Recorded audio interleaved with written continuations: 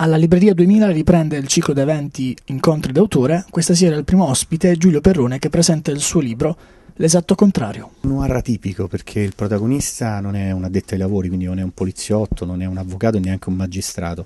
È un ragazzo aspirante giornalista che si trova coinvolto in una storia che viene dal passato, che lo tocca da vicino e che lo porta a condurre un'indagine un po' goffa e sconclusionata ma alla ricerca della verità. E come mai scegliere questo titolo, l'esatto contrario? perché il protagonista in varie parti della storia si sente spesso l'esatto contrario del, di alcune delle persone che incontra, dei personaggi che, che lo contrastano, che lo aiutano, però lui molto spesso si sente in opposizione, si sente inadeguato per certi versi al mondo in cui si muove.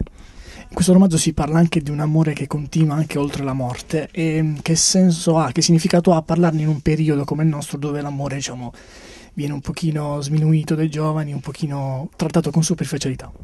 Ma effettivamente lui si muove in questa storia proprio da un sentimento, da un qualcosa che lo lega a una ragazza che tanti anni prima è stata, è stata uccisa.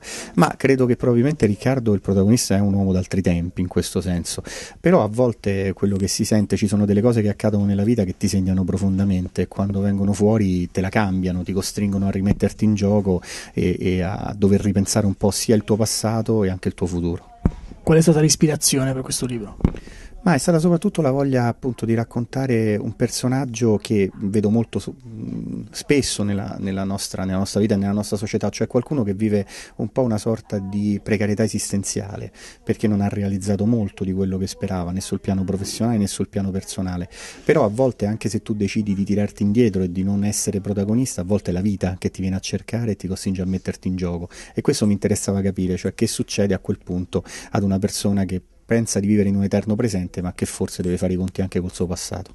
Da Andrea per News24.city, Davide Suriano.